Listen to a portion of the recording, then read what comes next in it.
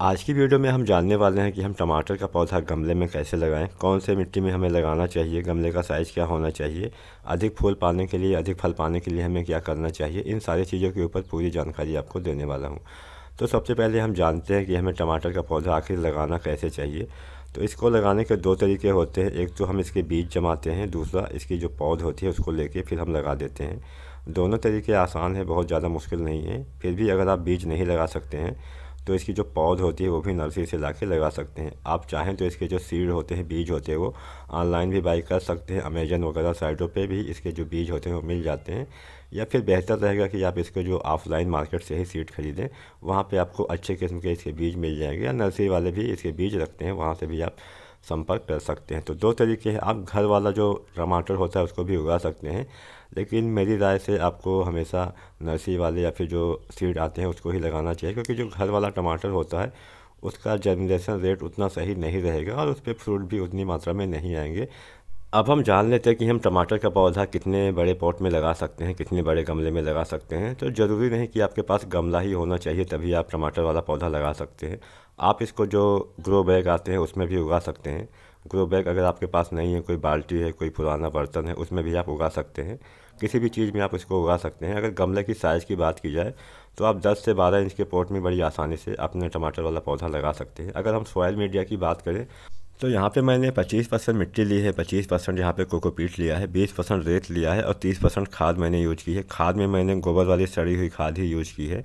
आप चाहें तो वर्मी कंपोस्ट, लीप कंपोस्ट या अन्य जो घर पे बनी हुई खादें होती हैं, उसको भी इस्तेमाल कर सकते हैं। अगर आपके पास कोकोपीट नहीं है तो आपको चाहिए कि मिट्टी की मात्रा बढ़ा दीजिए, तब आपको 50 परसेंट मिट्टी लेनी है 20 परसेंट रेत और 30 परसेंट खाद में आप अपना पौधा लगा सकते हैं। अगर आपके पास रेत भी नहीं है तो आप नॉर्मल वाली जो सॉयल मीडिया होती है, सत्तर परसेंट मिट्टी और तीस परसेंट खाद, इसमें आप अपना पौधा लगा लीजिए तो अभी आपका पौधा बेहतर चलेगा। तो अब सॉयल मीडिया में आपको और क्या क्या डालना है, इसके अलावा आपको नीम केक पाउडर जो आता है, वो भी आपको दो चम्मच के आसपास डाल देना है। ये भी आपको अमेजन वगैरह साइडों पे मिल जाएगा।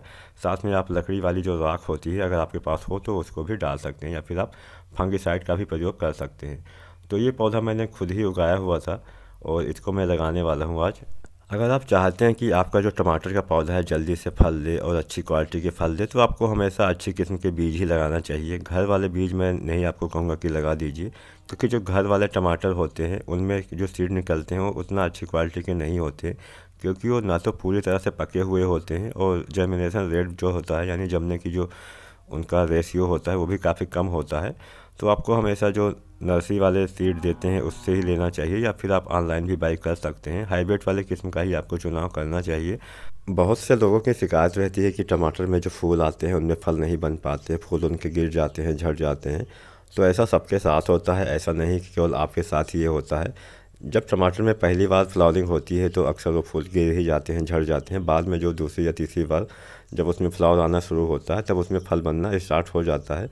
तो इस पर आपको ज़्यादा चिंता करने की ज़रूरत नहीं है। अगर आप सोचते हैं कि सारे जो फूल है उसमें फल आ जाएँगे तो ऐसा बिल्कुल नहीं होने वाला। फिर भी कुछ रीज़न होते हैं जिनके कारण आपके फूल झड़ सकते हैं। जैसे आपने अगर अधिक मात्रा में उसमें खाद डाल दी होगी तो भी ज़्यादातर फूल झड़ जाते हैं और ज़्यादा पानी के प्रयोग से भी पत्तियाँ पीली हो जाती हैं, फूल झड़ जाते हैं। तो उसको भी आपको ध्यान देना है। बहुत अधिक मात्रा में आपको ना तो वाटरिंग करनी है और ना ही एक बार में आपको अधिक मात्रा में कोई भी खाद आपके टमाटर वाले पौधे पर डाल देनी है। तो अब हम गमले में पौधा लगाने वाले हैं। बीच में आपको थोड़ा सा होल कर देना है, जगह कर देनी है। उसके बाद में पौधे को आपको एकदम बीच में ही लगाना है, किनारे नहीं लगाना है। टमाटर के पौधे में आपको कोई स्टिक भी लगानी चाहिए बम्बू स्टिक जो आती है, या फिर कोई अदर स्टिक हो, या फिर किसी रस्सी की मदद से आपको पौधे को बाँध देना चाहिए, ऐसी जगह पे रखना चाहिए जिससे उसको सहारा मिल सके।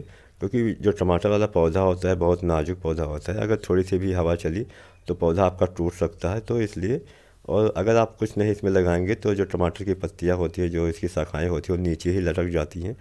तो इसके लिए आपको कोई बम्बू स्टिक होता है या फिर किसी रस्सी की मदद से, किसी दीवार के साथ आप बाँध सकते हैं ताकि आपका जो पौधा है टमाटर के जो फल लगे तो पौधे पे ज़्यादा भार ना आए। इस तरह से मैंने कुछ पौधा बाँध रखा है। टमाटर के पौधे पे ज़्यादा फूल पाने के लिए पौधे को धूप में रखना है आपको सर्दियों के दिनों में। और इसमें अगर खाद की बात की जाए तो आपको हर पंद्रह दिन पे थोड़ी थोड़ी खाद जो होती है, गोबर वाली खाद, पत्तियों वाली खाद ये आपको डालते रहना है। बहुत अधिक पानी का प्रयोग नहीं करना, नहीं तो आपका पौधा सूख भी सकता है। तो इन चीज़ों का अगर आप ध्यान रखेंगे तो आपके टमाटर में भी ज़्यादा फ्लावरिंग होगी और आप उससे ज़्यादा फ्रूट भी पा सकेंगे। वीडियो कैसी लगी हमें ज़रूर बताएँ। अगर पसंद आई हो तो इसे लाइक भी करें, चैनल को सब्सक्राइब भी ज़रूर करें। वीडियो देखने के लिए धन्यवाद।